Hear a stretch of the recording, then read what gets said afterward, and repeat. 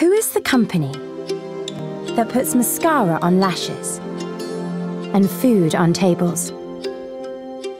That fights wrinkles with one hand and breast cancer with the other? That speaks out against domestic violence and for women's financial independence?